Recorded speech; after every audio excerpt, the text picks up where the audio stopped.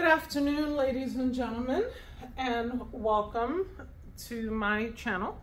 Today we're going to talk about classification of matter. So we're going to be looking at lessons one and two today. So you'll be seeing this over the course of the next couple of days.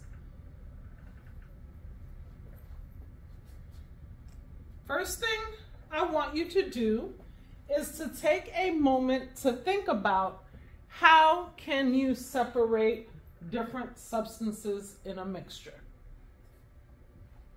So if you can pause for a moment and talk to your classmates about the different ways to separate a substance and you'll have about 30 to 45 seconds to do that.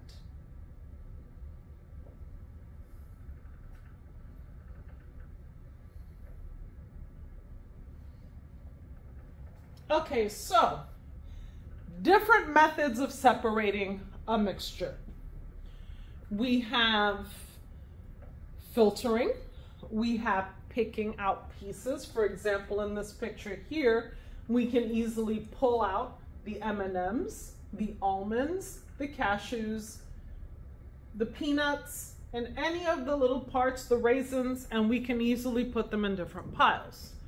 Okay, but we have a lot of different substances uh, that you may not necessarily be able to pull pieces out. So identifying different ways to separate the substances based on what is mixed together is important, if they can be separated at all. So,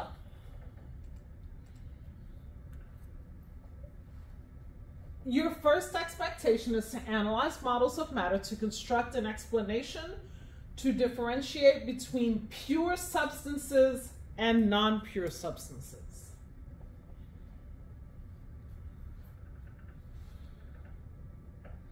So today you will create and carry out a procedure to separate an unknown mixture so that you can distinguish amongst mixtures and pure substances and you'll know you have it when you've separated the mixture out into its component substances. Now, obviously, under the circumstances, we can't do the lab, but we are actually going to walk through the lab and you're actually going to get to see it so that you can understand exactly what it is that's expected in this scenario.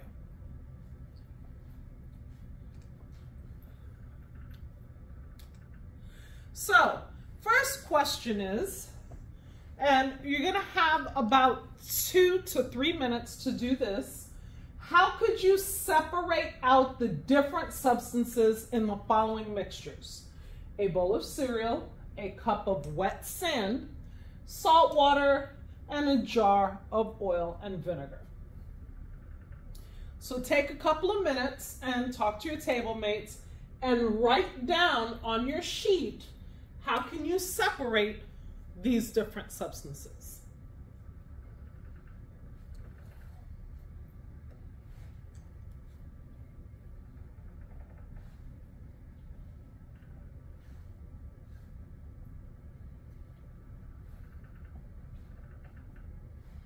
All right, so let's go ahead and take a look. A bowl of cereal. well, in this particular case, the bowl of cereal is wet, so let's look at the two different scenarios. Let's say first we have a bowl of dry cereal. With a bowl of dry cereal, you can actually separate the different parts out. In this case, we have a lovely bowl of Lucky Charms, and we can separate the non-marshmallow pieces from the marshmallow pieces and put the marshmallow pieces in one pile or separate them based on design. For example, the four leaf clovers in one pile and the rainbows in another pile. Or you can separate them just simply by cereal versus marshmallow. In the case of it having milk, you would pour it through a strainer, strain out the milk, and then separate the pieces by cereal and marshmallow. If we're talking about a cup of wet sand, well, a cup of wet sand indicates that there is water in it, so we would run it through filter paper and we would filter out the water, leaving the, wet, the sand behind. okay, and we can evaporate out the rest of the water. Salt water. Well, the thing about salt water is it dissolves and it forms a special kind of mixture called a solution. So in the case of salt water, the best way to separate salt from water is to evaporate the water out, leaving the salt behind. Now, salt, you can actually boil the water off, or if you put it in a glass, in an environment, or in a container in an environment that's open, the water will eventually evaporate off on its own. But evaporation is the best method to separate that. And a jar of oil and vinegar, the best way to separate a jar of oil and vinegar is by using a pipette. To give you an idea what a pipette is,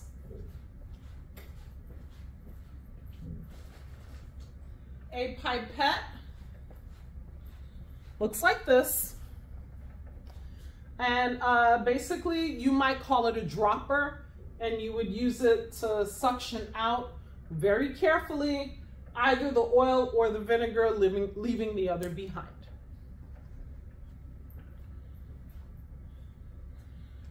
So, what are some other examples of mixtures? What makes something a mixture? And if something is not a mixture, then what is it? So, here's some rules to consider when turning and talking to your partners. First of all, look at your partner listen to what they're saying, and speak when it is your turn. Tell your partner to answer in one or two sentences. Listen without interrupting while your partner tells you their answer, and be kind and supportive so everyone feels comfortable sharing their answers. Remember, this is a safe space. We want you to feel comfortable when discussing your answers. So you're gonna take about a minute and a half, and you're going to discuss what are some mixtures, what makes something a mixture, and if something is not a mixture, then what is it?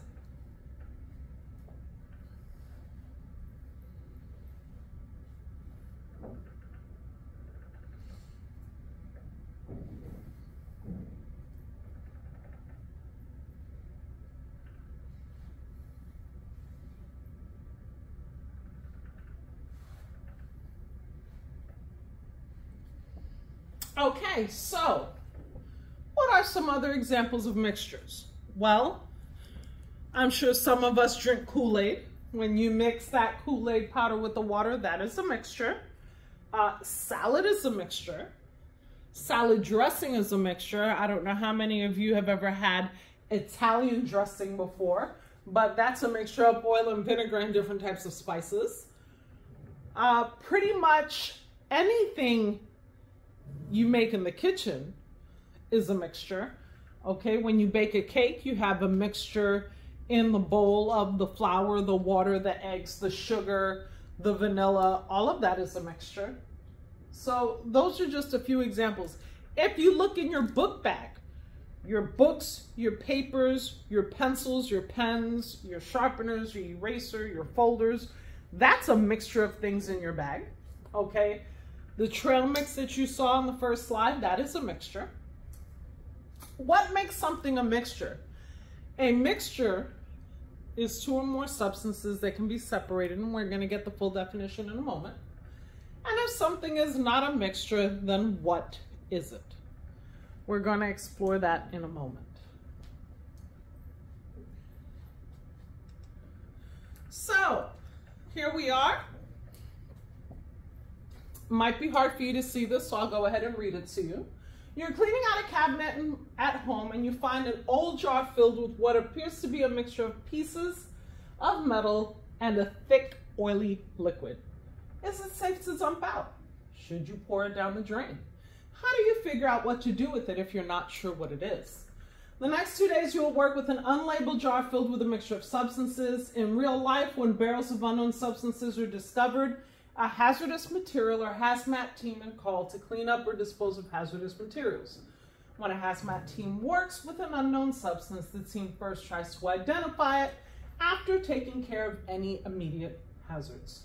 The substance could be called a mixture, a combination of two or more pure substances that can be physically separated, such as filtering, straining, or sorting. It is essential for the team to know what is in the mixture so that they can determine how to store and dispose of its different substances.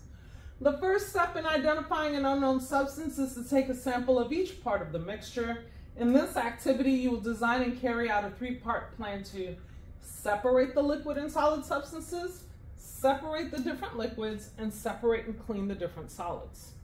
So, how can you separate substances in a mixture? That is the challenge question we're going to look to answer throughout this process.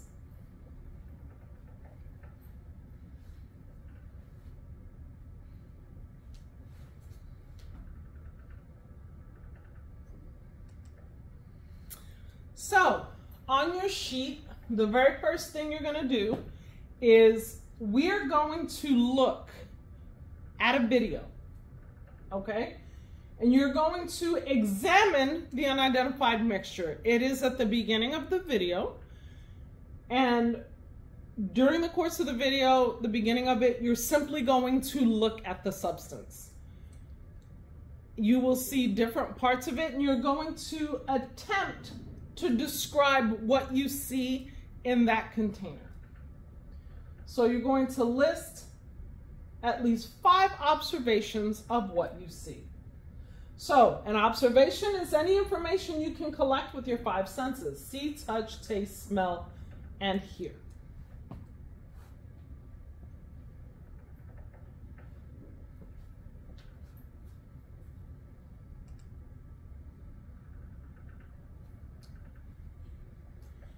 So now that you've seen the video, what type of data did you collect? So there are two types of data that you must understand. There is quantitative data. Now quantitative, quantity,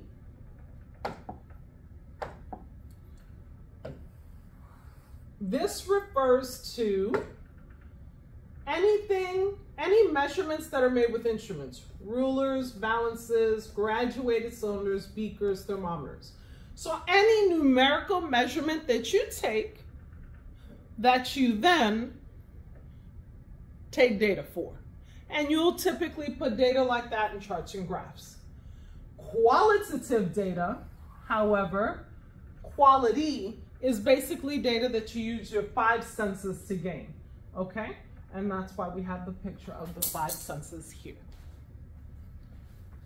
Please take a moment to document the difference between quantitative and qualitative in your notebook.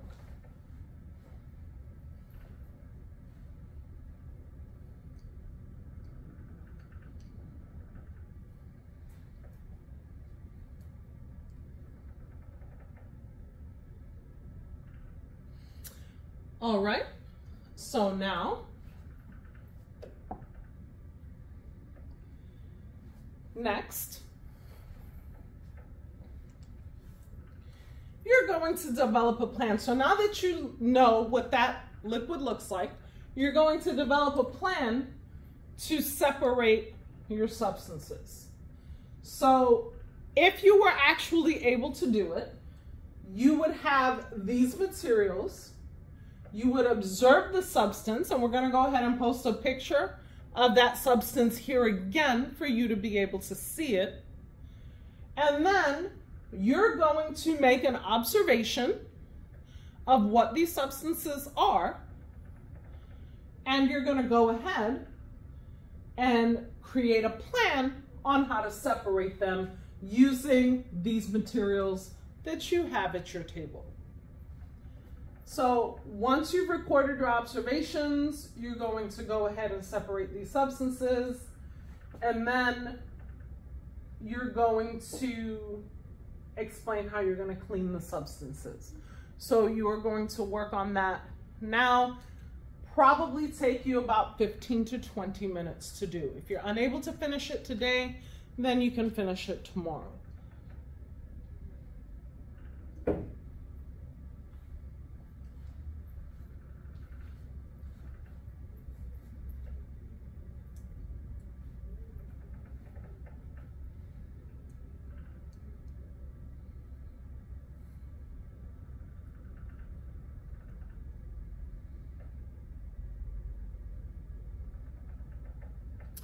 So at this point, you should have your plan in place determining how you're going to go ahead and separate these substances. So you want to check your group's procedure. Do you have a plan to separate the solids from the liquids? What solids need to be taken out of the container? And what are you going to use to take them out of the container? Now, some of you may not know the names of these, so I am going to go ahead and tell you what they are called. Okay? You have a pipette, which I already showed you. You have your small plastic cups. You have plastic forceps. Please make sure you know the correct names. I know they look like tweezers, but we call them forceps. You have a medium plastic cup and you have filter paper. So please use this guide when you're documenting what you're going to use. So what are you going to use to separate the liquids? Where are you going to put the liquids? And what will you use to clean the various solids? And where will you put the various solids? So once you're able to say yes to all of this, you're ready to see how we actually go about separating them.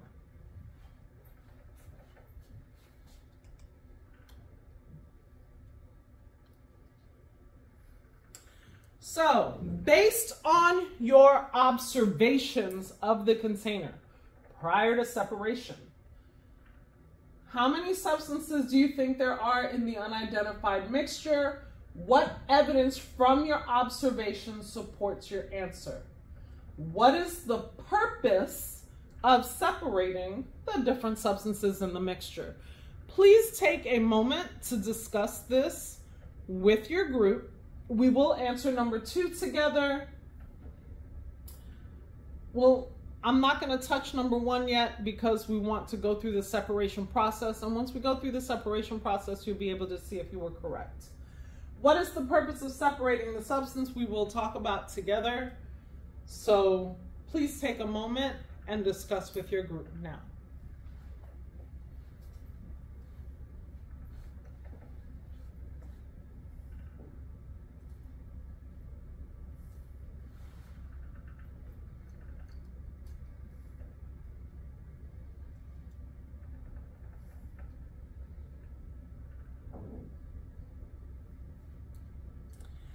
Okay, so what is the purpose of separating the different substances? Well, we want to know what these substances are. In order to know what the substances are, we have to test them. But in order to test them, we have to have a clean sample of each substance, which means the solids must be separated and cleaned from the liquids. So when we're testing them, we are testing the properties of the solids and not the liquids on them.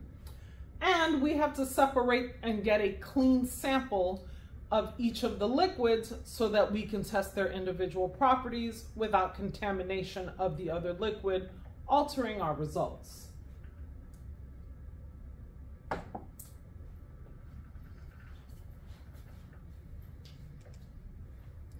So explain what is a mixture. Here is now the definition. You may have gotten it before, but if not, I'll give you a moment to copy it. A mixture is a combination of two or more pure substances that can be physically separated by methods such as filtering, straining, or sorting. So if you can just pause for one moment and make sure you have that definition copied down if you don't already have it.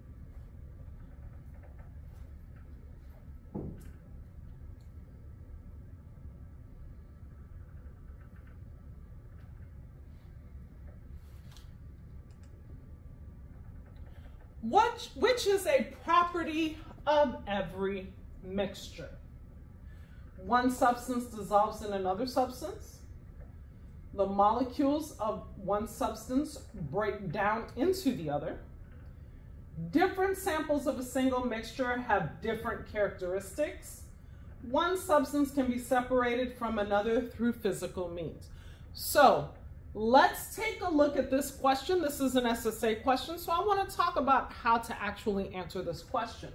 First of all, let's go ahead and look at the question. which is a property of every mixture. Oh, this is, there we go. What is the property of every mixture? So one substance dissolves in another substance. Well, in trail mix, does anything dissolve in anything else? No. So that's wrong. The molecules of one substance break down in another. Again, in something like trail mix or salad or the contents of the things in your book bag. Do they break down into one another? No. Different samples of a single mixture have different characteristics. Well, let's take a look at that. If you take out some of the things in your book bag and place on a table, are they going to have different characteristics as if you took a second sample out? Maybe. But if I had a glass of Kool-Aid, if I took out a little bit of Kool-Aid and put it in one cup, is it going to have different characteristics than if I take out some of the Kool-Aid and put it in another cup? No.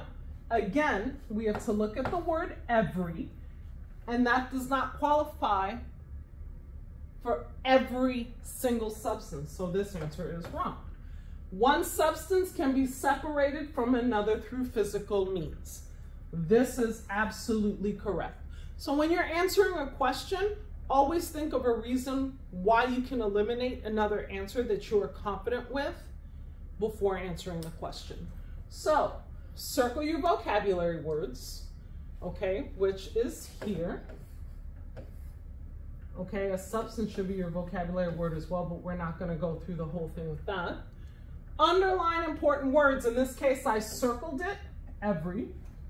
Box in the question, okay? Eliminate wrong choices, which we did.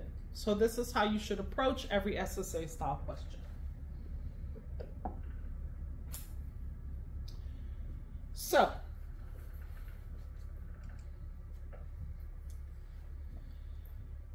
You are walking down the sidewalk and you see a puddle of green, oily liquid on the ground. Can you identify the contents of the puddle through observation alone? So, take one minute and discuss amongst your group if you can identify the substance through just observation alone.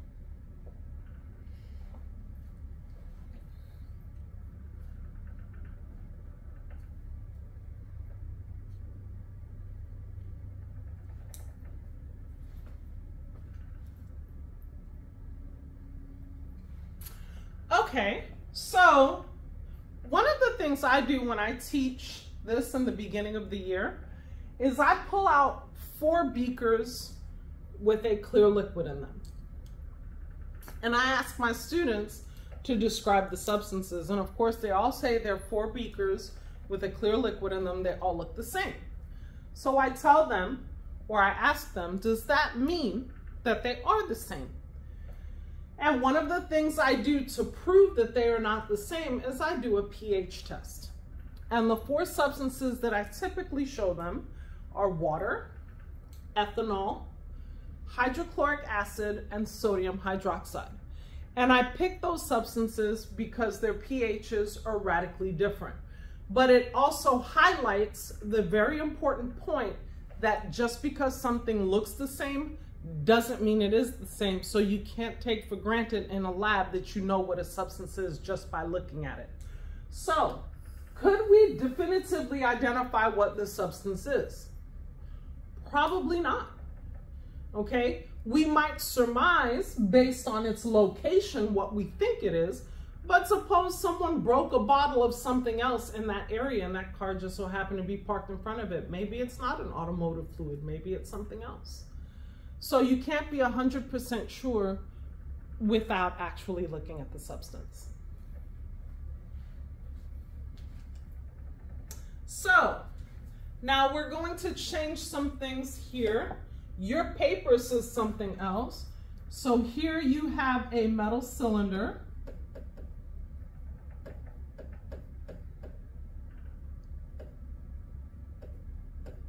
And here you have a short cylinder. Okay, so, and that's what your paper says. So what you're going to do is you're going to follow the procedures. In this case, you're gonna watch the video of me separating the mixture and you're gonna report, record the appearance of each substance in the unknown mixture. So please pay attention to the video that's going to be playing and you're going to use the information as I separate the mixture to record the different substances. Now, you have one liquid that is lighter than the other, so please pay attention to that um, as liquid A and liquid B. And then you have your metal cylinder, your plastic pieces, and your short cylinder. Okay, both of these are metal, however, one is short, one is long. So, uh, you will reference a sheet throughout the unit, so please be as descriptive as possible when recording, and you will have time during the course of the video.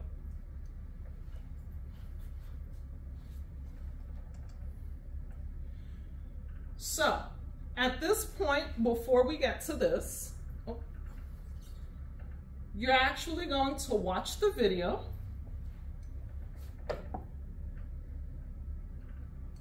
You're going to watch the video.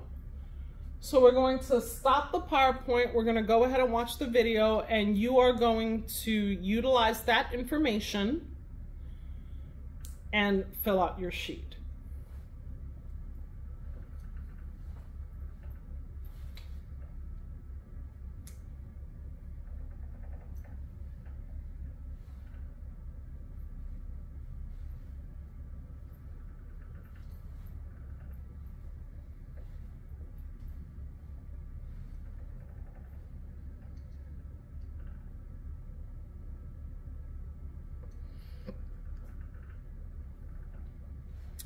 All right, now that you've seen the video, what you should have seen is a clear substance, an orange substance. The clear substance was a little bit thicker than the orange substance, more viscous, that's a word, viscosity. Your long metal cylinder, your short metal cylinder, and two different types of plastic pieces, one which is black and square and one which is a uh, red tube.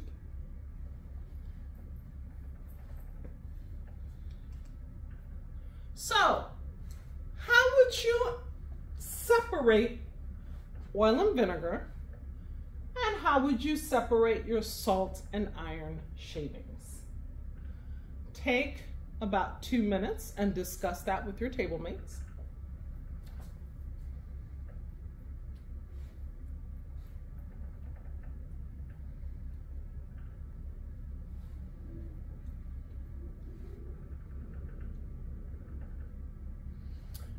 All right, so oil and vinegar you would separate using a pipette. And your salt and iron shavings you would separate using a magnet removing the iron shavings from the salt.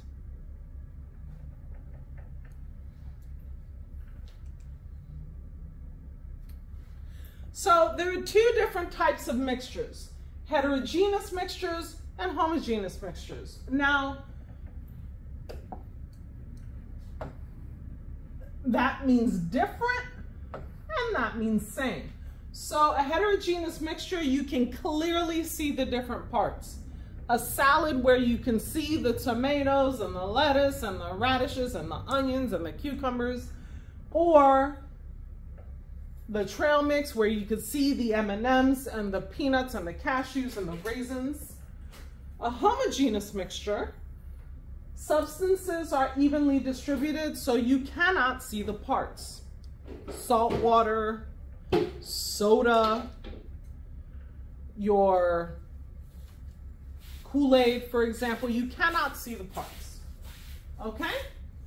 All mixtures can be physically separated.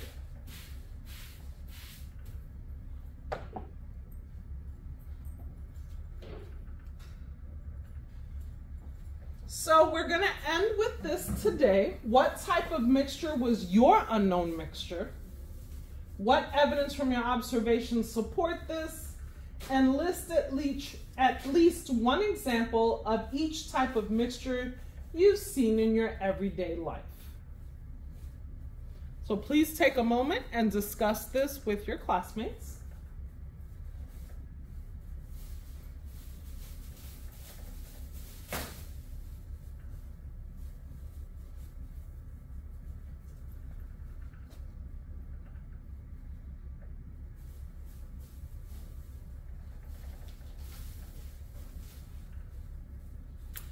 So the last thing we're gonna cover is an SSA question.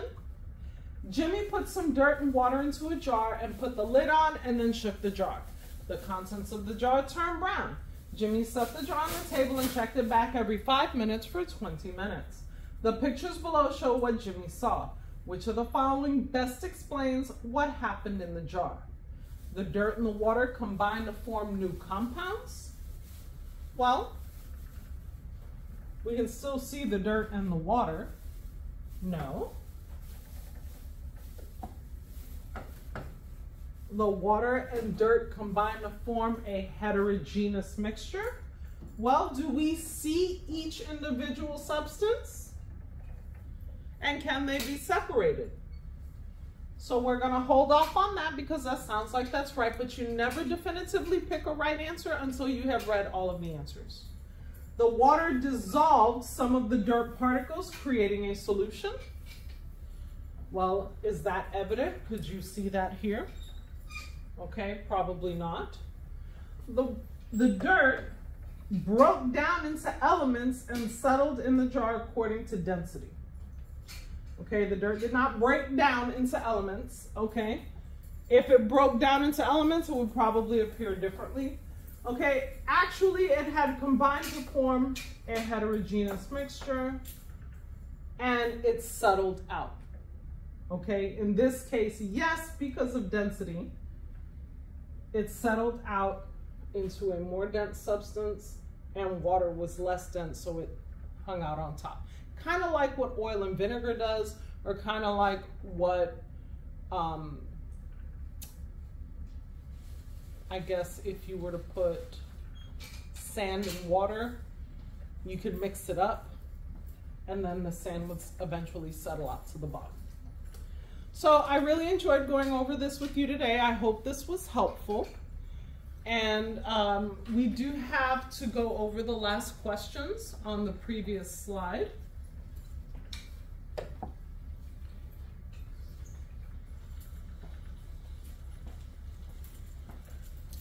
So if you could just talk a little bit about that with your partners and just share your answers. Um, some mixtures, the type of mixture that was your unknown mixture was a heterogeneous mixture.